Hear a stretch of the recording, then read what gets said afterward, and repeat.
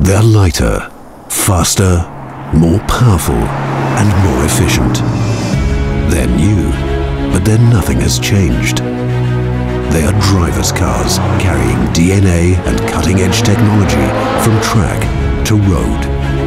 The S and V60 Polestar have evolved. You'll understand how after a test drive.